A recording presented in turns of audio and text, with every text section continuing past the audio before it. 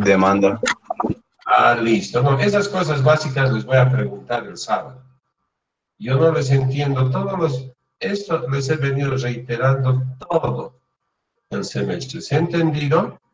En, fíjense, son diferentes tipos de oferta. Como tienen el, similar valor, se llaman las isocuantas. Entonces, no les voy a explicar ya esto, no es necesario.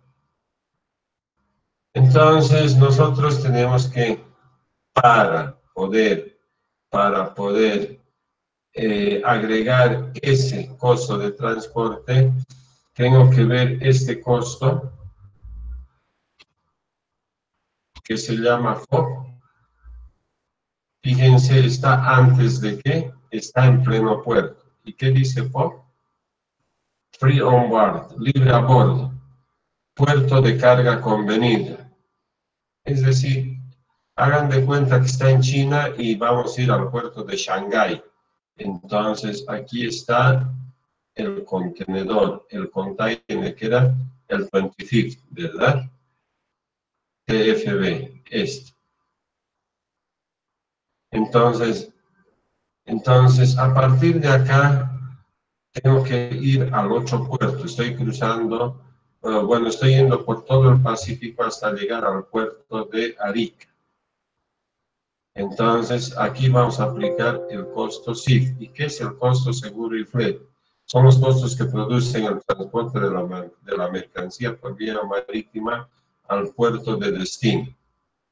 Entonces, fíjense, de acá a acá cambia SOF por SIF.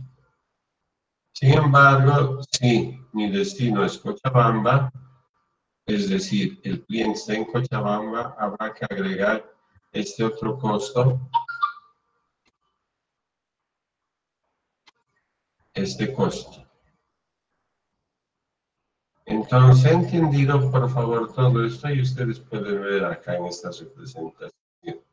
Dice, del vendedor, vale decir de dónde se fabrica, hasta el comprador, hasta el mercado. Aquí está.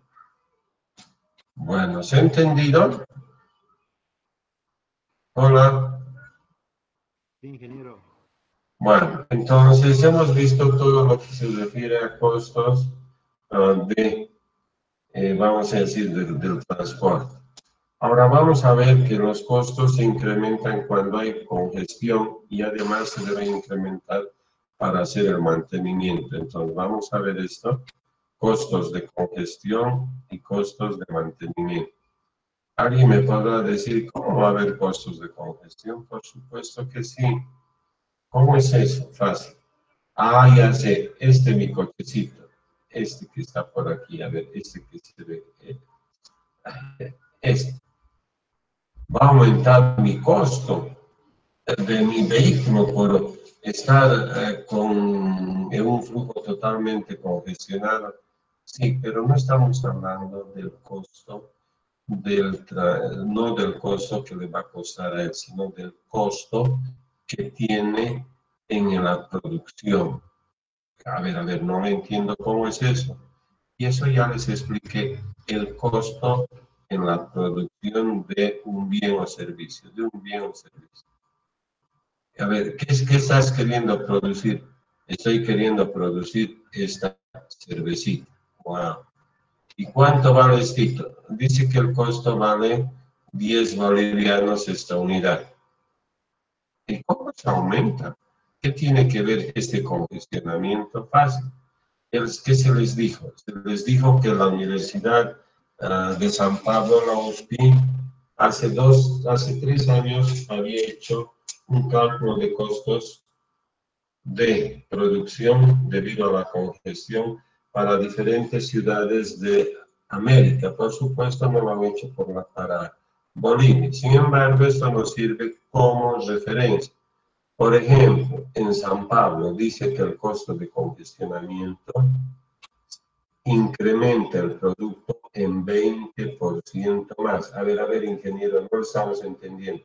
¿Acaso esto entra en la producción? Por supuesto que sí, y se les va a poner de la manera mucho más clara. hagan de cuenta que esta es mi casa y esta es mi fuente de trabajo. Este es mi trabajo. Yo tengo que transportar. Resulta que pese a que yo salgo dos horas antes, yo tenía que estar aquí a las 8 de la mañana, llego a las 8 y 10. ¿Me van a descontar? Sí, pero a las 8 y 10 puedo entrar. Fíjense cuánto de tiempo estoy perdiendo. Estoy perdiendo 10 minutos. Si yo llego a las 8 y 10, directamente voy a entrar a trabajar. No, voy a tener que ir a ponerme ropa de trabajo y todo, voy a tardar 10 minutos más.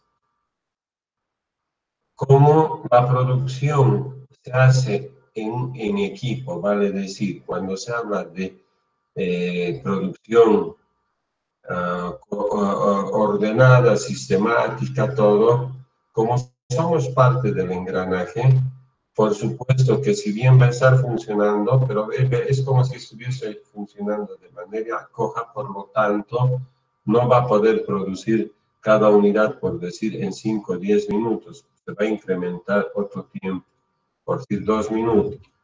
Y a eso recién ingresa él.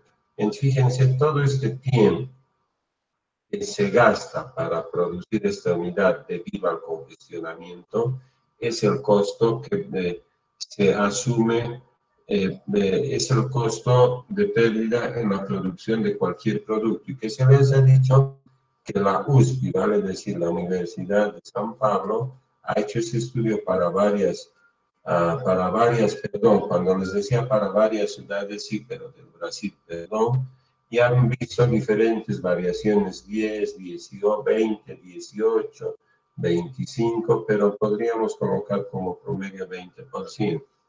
Quiere decir que a esto se debería agregar el 20% más, 10 bolivianos, que era el costo. El 20%, 2 bolivianos, quiere decir que este costo por producir ha subido a 12 bolivianos.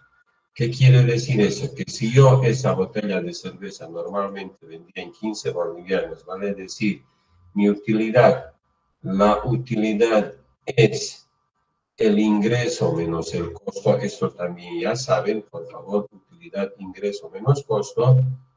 Entonces, el ingreso era 15 bolivianos y el costo ahora ya no es 10, sino es 12. Fíjense cómo la utilidad ha disminuido en estos dos bolivianos, ya no es 5, sino es 3 bolivianos. Pregunta, ¿se ha podido entender el impacto que tiene el congestionamiento en el costo de producción? Hola. Ingeniero. ¿Qué? ¿Ha quedado claro o no? Sí, ¿qué? Bueno, entonces, ha quedado claro ustedes qué posibilidad tienen, tienen la posibilidad que por favor alguien me pidió y me agrada porque me pidió les dije en la noche y en la noche me dijo, usted no ha subido. Pero si ustedes ven acá, absolutamente he subido todo, ¿verdad? Entonces ustedes pueden estar leyendo. ¿Quedó claro? Entonces, ese es el círculo, o sea, ¿por qué se produce esta congestión? Entonces vemos el círculo, dice, vicioso. Perdón. Círculo vicioso de la congestión. Dice. Dice, cuando aumenta la congestión, congestión aumenta, vamos a ir de acá. El transporte público se hace más lento. ¿Qué vimos? Vimos, por ejemplo, que el lado de la cancha, la variable más importante, hemos visto que eran las variables principales, velocidad, densidad e intensidad. ¿Estamos de acuerdo? Esas son las tres variables más importantes intensidad, densidad y velocidad, ¿verdad? ¿Es así o no es así? Oiga, ya estamos agarrando todo lo que hemos llegado para poder leer. Esto es saber leer. ¿Se entiende o no se entiende? Se entiende, ingeniero. Bueno, entonces, ¿qué dato teníamos nosotros? Si bien las tres variables son las variables principales, pero yo voy a ver que la que podría entender más rápidamente, es decir, Las tres son principales, pero para mí la más importante es esto, la velocidad, y les dije que había medido 12 kilómetros por hora. Sin embargo, el estudio del TEMUS decía 15 kilómetros por hora. No me interesa porque, por supuesto, ellos tenían financiamiento. Los compañeros, los, los estudiantes solo tenían derecho a un refrigerio y a un sándwich, entonces, por supuesto, varía. Sin embargo, no hay una diferencia sustancial. Entonces dice transporte público más lento. Y resulta que con esto de, con esto de ver quién tiene más estatus, resulta que mi amigo se compra este poderoso vehículo porque quiere mostrar en su barrio que tiene auto y resulta que acá entra una sola persona y lo que ya vimos, hay menos viajeros en el transporte público que por supuesto debería ser masivo, por lo menos buses simplemente articulados de manera que vayan en estos buses que podría ser el Yachtabús, el Yachtabús. No, ingeniero, tenemos el tren metropolitano, por supuesto, por supuesto. Van a ser de cuatro vagones y de cerca de 200, bueno, está mal dibujado todo eso, entonces es esto. Aquí deberíamos tener mayor cantidad de viajeros, pero cada uno de estos compañeros como ustedes piensen esto. Ah, diferente, está más, más agradable. Entonces, no piensa en el transporte, perdón, eso así debería ser. No piensa en esos transportes masivos ¿Por qué? Porque ya vimos en los videos que creo que 40 de estos hacían en, en la Ciudad de México uno de estos. Unos de estos BR3, eh, BRT buses de transportes rápidos. Es sigla en inglés, BRT, por eso se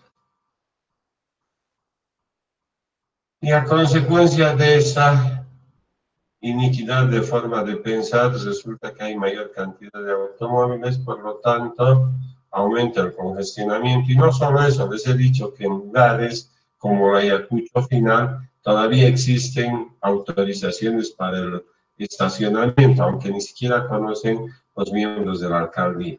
¿Se han dado cuenta? Es el círculo vicioso de la congestión.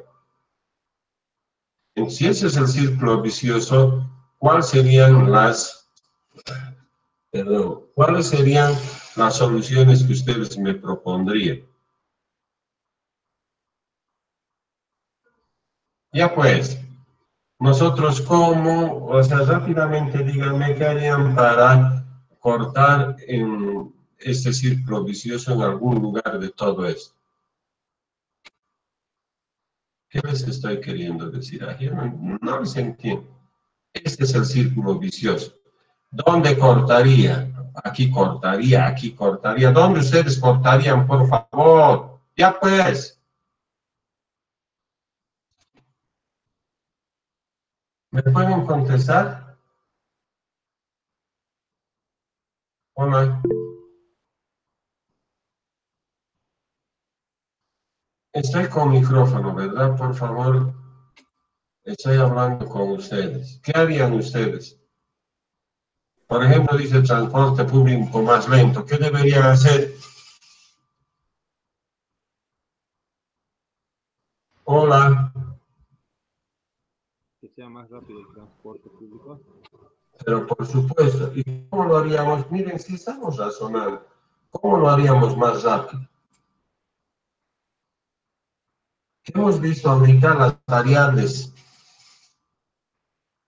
las variables principales del, del tráfico. ¿Cuáles eran? Intensidad, densidad y velocidad. ¿Qué dijimos que deberíamos aumentar para que sea más rápido?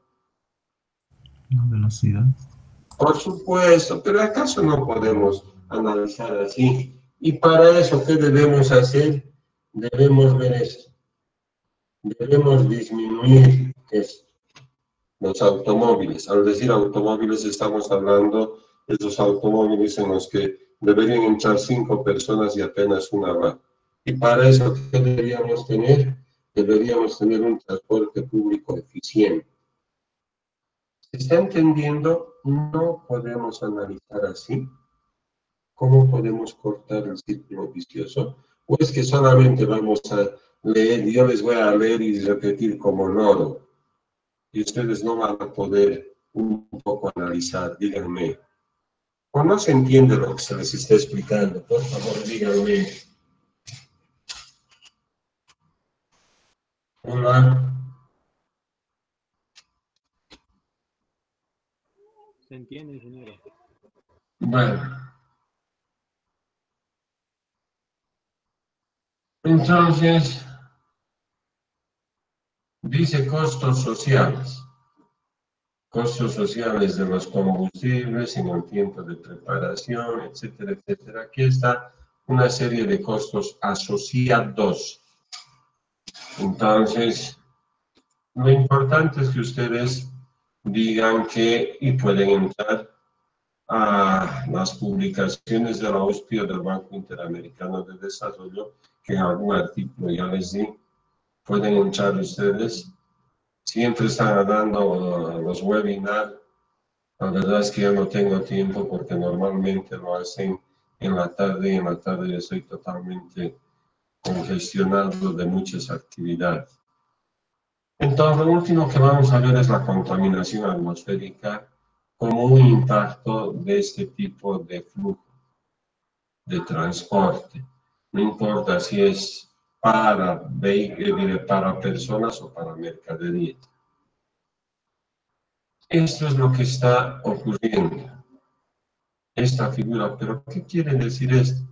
Que cada vez más existe cantidades de vehículos que nos dan esta, esta imagen de tráfico, pero sobre todo donde en las ciudades, en, en las ciudades. Diferente es el impacto en las carreteras interurbanas, pero en las vías urbanas, por supuesto, esto es lo que se ve. ¿Y qué es lo que están generando esto?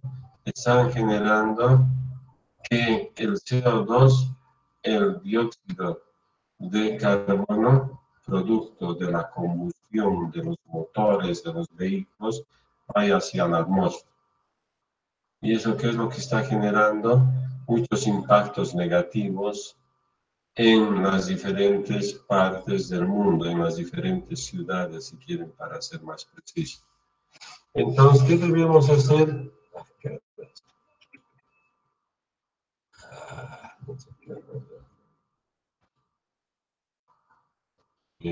Vamos a tener que... Bueno, bueno.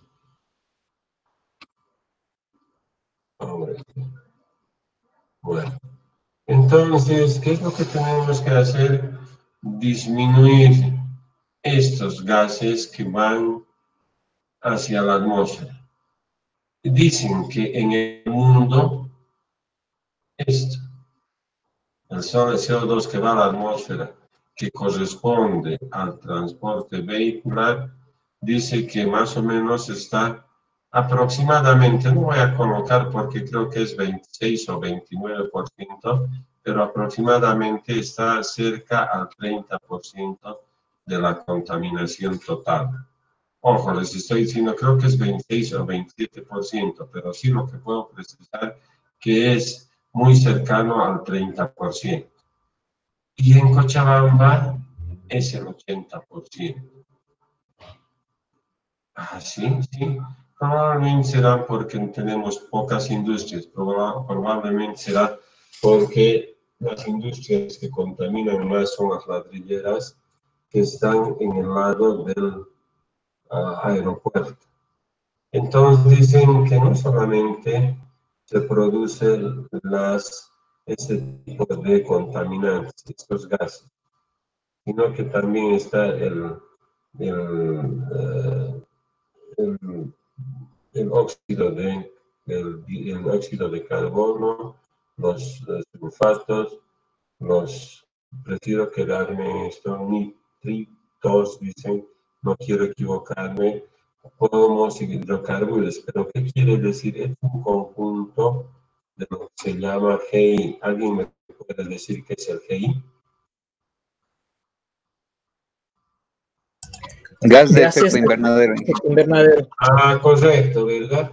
Pero hemos visto que como patrón de medida se utiliza el CO2. ¿Qué quiere decir? Que yo, bajo ciertos parámetros que estandarizados, esto lo puede convertir esto solamente para su cálculo del grado de contaminación. ¿Se ha entendido? Hola. ¿Sí? Sí, ingeniero. Bueno, entonces, como ya estamos concluyendo, fíjense cómo dice la concentración del CO2 en la etapa preindustrial. Estamos hablando acá.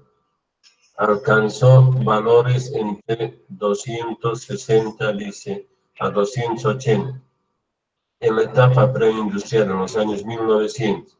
Pero fíjense que a la fecha, que era más o menos el 2010, esta información, ya habíamos llegado cerca a 400 partes por millón de CO2.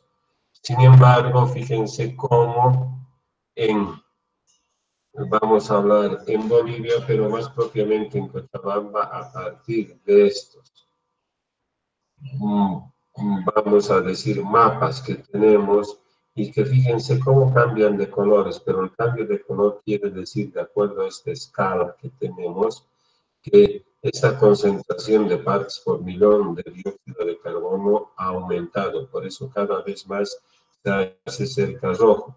Y fíjense, Cochabamba ahora tiene aproximadamente 375. En la escala no me acuerdo, creo que era algo de 200 y algo.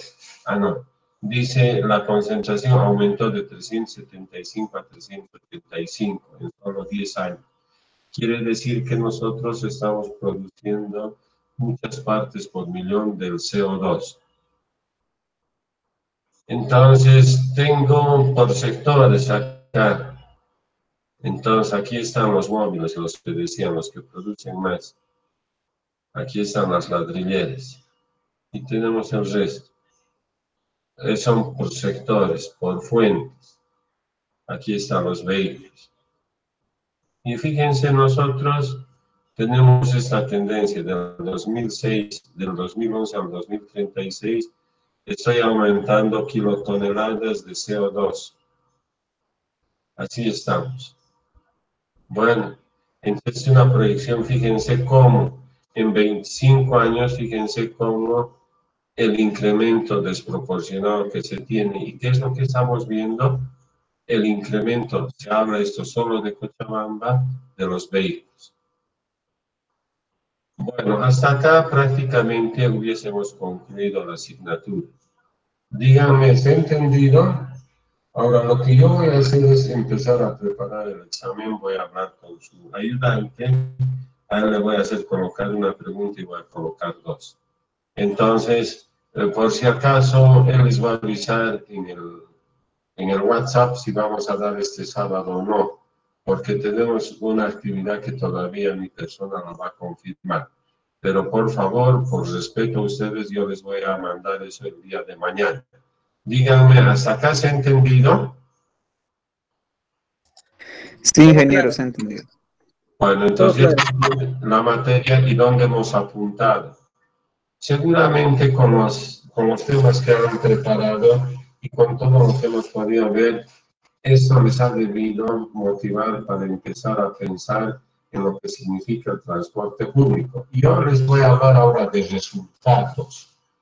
Fíjense, eh, yo tengo ahorita cinco tesistas, soy por supuesto el tutor, y dos de ellos ya han presentado y han sacado la letra A, quiere decir defensa inmediata. Eso quiere decir que sus notas, por supuesto, están encima de 90 sobre 100. ¿Esto por qué razón? Porque hemos ido entendiendo lo que yo digo el hilo del ovillo. Es decir, si ha agarrado bien dónde nace el hilo del ovillo, por supuesto voy a poder desenroscar. Y desenroscar significa nutrirse de mayor conocimiento y por supuesto yo les he generado la mayor cantidad de información. No estoy diciendo que ellos lo hayan sacado, por supuesto, tienen su mérito porque conmigo han trabajado sacando datos de campo y por supuesto, eso es lo más engorroso. Entonces, fíjense en la parte académica, uno de los impactos que tienen son cinco proyectos de grado, son diez universitarios que con estos conocimientos, por supuesto, no son estos, sino esto es el inicio para poder empezar a pensar y con las materias que vienen posteriormente han podido realizar, están realizando uh, su proyecto de grado. ¿Hasta acá se ha entendido? Hola. Sí, ingeniero. Sí, ingeniero, se ha entendido. Conclusión, la evaluación para ustedes.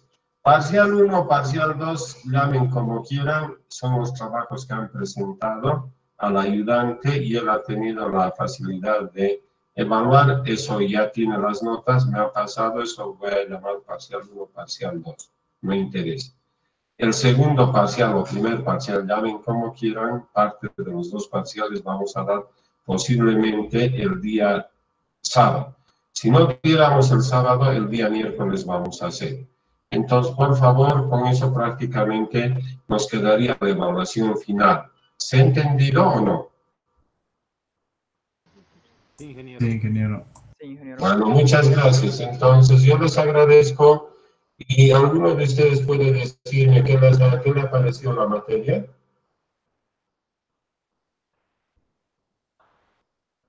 Hola, Ingeniero, ¿yo puedo comentar algo?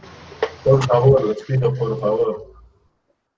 Bueno, personalmente me pareció interesante la materia en el sentido de que antes yo no veía el transporte de esa manera en cómo nos enseñó durante el semestre, ya que es de suma importancia y afecta prácticamente a todo lo que hacemos, Eh, no solo a lo que nosotros como futuros ingenieros civiles realizamos, sino también a otros sectores. Entonces, exi- existen muchos factores que eh, he, he podido aprender para considerar en, en cuanto al transporte, ingeniero. Bueno, eh, les agradezco mucho a ustedes y por lo menos externamente así pensaremos porque todos necesitamos el transporte para movilizarnos de un punto a otro. Y hemos visto de que es un tema muy complejo, pero al mismo tiempo muy dinámico. Complejo porque hay una serie de N variables ustedes han visto que participan. Y dinámico porque hemos visto que de un día para otro cambia, no solo de un día para otro, sino de una hora para otra cambia.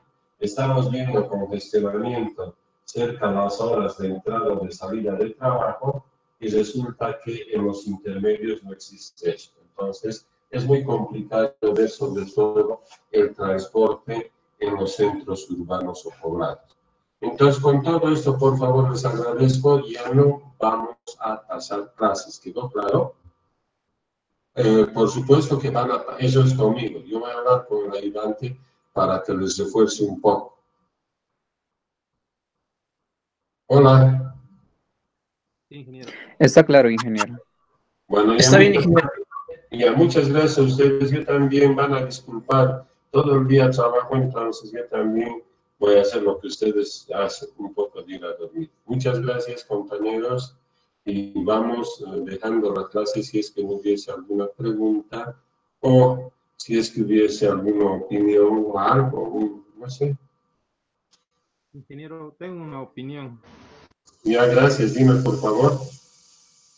referente al examen. Usted dijo que probablemente sea el sábado como también el miércoles. Entonces, eh, entiendo de que muchos de mis compañeros también están en diferentes ajetreos por las diferentes materias. Entonces, no sé si hay la posibilidad de que poder dar el examen directamente el miércoles, según usted lo vea conveniente. Mire, ya les decía por respeto, porque les tengo mucho respeto a ustedes, decir que les iba a avisar mañana. Eso dependiendo de una actividad que tengo como docente el día sábado. Entonces, si ustedes quieren directamente quedamos el día miércoles. Pero ojo, que no, que esto es, que con esto liquidaríamos los parciales, ¿verdad? Así es, ingeniero. Bueno, ya entonces estamos quedando para el día miércoles y por supuesto todo, todo, todo es en hora de clases, no me van a decir la hora. ¿Ya? Está bien, ingeniero. Gracias. Ya, listo, nos vemos, gracias a ustedes. Muchas gracias, ingeniero. Buenas noches.